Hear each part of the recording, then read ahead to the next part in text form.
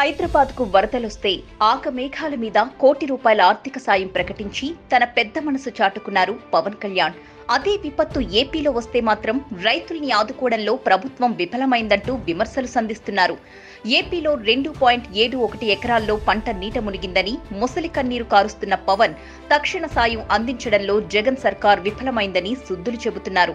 గతేడాది పెట్టుబడి రాయితీలు ఇవ్వలేదని ఈ ఏడాది వరద సాయంపై కూడా ప్రభుత్వం ఉదాసీనంగా ఉందంటూ ఓ ప్రెస్ నోట్ విడుదల చేశారు పవన్. వరద నష్టం త్వరగా అంచనా వేయండి అని సీఎం జగన్ చెప్పిన నాలుగు రోజుల తరువాత పవన్ కళ్యాణ్కి ఉత్సాహం వచ్చింది కాబోలు. వెంటనే నెట్టింట్లోకొచ్చేశారు. అసలు రైతుల తరపున మాట్లాడే అర్హత పవన్కి ఉందో లేదో ఓసారి చెక్ చేసుకోవాలి.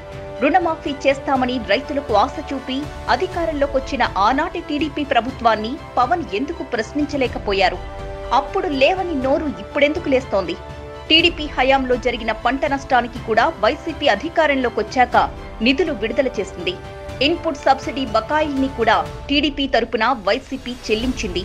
మరి పవన్కి ఈ సాయమంతా కనపడలేదా?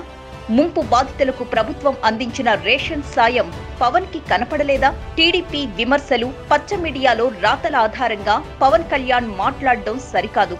ప్రభుత్వం ఆదుకుంటుందన్న నమ్మకం తమకుందని నారా లోకేష్ పర్యటనలోనే రైతులు చెంపపెట్టు లాంటి సమాధానమిచ్చారు.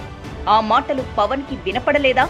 రైతు భరోసా పేరుతో కష్టాలు రాకముందే ఆర్థిక సాయాన్ని అందిస్తూ రైతు భరోసా కేంద్రాల్ని రాష్ట్రమంతా ఏర్పాటు చేసి అన్నదాతలకు అండగా నిలబడ్డ జగన్ని విమర్శించే అర్హత పవన్కి ఉందా?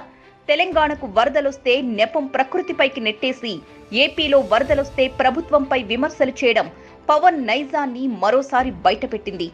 రెండు నాలుకల ధోరణిలో చంద్రబాబుని మించిపోయేలా పవన్ వ్యవహరిస్తున్నారని జోకులు పేలుతున్నాయి. Subscribe to Social TV Telugu for more videos. Hit the bell icon for faster updates.